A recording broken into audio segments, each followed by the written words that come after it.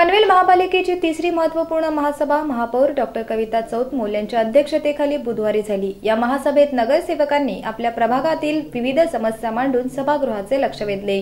आयुक्त डॉक्टर सुधाकर शिंदे यांनी या प्रश्नांना उत्तर देत नागरिकांच्या समस्या सोडविण्याकरिता उपाययोजना करण्यात येतील असे यावेळी सांगितले. आद्य क्रांतीवीर वासुदेव बळवंत फडके नाट्यगृहात पनवेल महापालिकेची तिसरी महासभा झाली. या महासभेमध्ये कळंबोलीमधील सुकलेली झाडे तोडणे आणि कचरा उचलणे याबाबत नगरसेविका मोनिका महानवर यांनी सिडको प्रशासनाशी संबंधित प्रश्न उपस्थित केला. नगरसेविका संतोषी तुपे यांनी खांदेश्वर रेल्वे स्थानक येथे शौचालय व्यवस्था करण्यात यावी अशी मागणी केली. याबाबत उत्तर देताना आयुक्तांनी मनपाच्या हागणदारीमुक्त पनवेल अभियानाची सविस्तर माहिती दिली. नगरसेवक विकास गरत यांनी कामोटे जुई गावातील पाण्याच्या धोकादायक टाकीकडे महासभेचे लक्ष वेधले. त्याचवेळी नगरसेवक नितीन पाटील यांनी हरिओम नगर येथील पाण्याच्या टाकीच्या दुरावस्थेबाबत प्रश्न उपस्थित केला.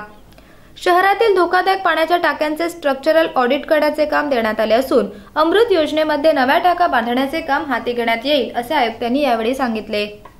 नगरसेविका दर्शना भोईर यांनी शहरात सीसीटीव्ही कॅमेरे बसवण्याचा मुद्दा उपस्थित केला. नगरसेवक अब्दुल काझी यांनी मार्केट यार्ड येथे होत असलेल्या कचरा डम्पिंगवर आवाज उठवला. त्यावर सविस्तर चर्चा यावेळी करण्यात आली.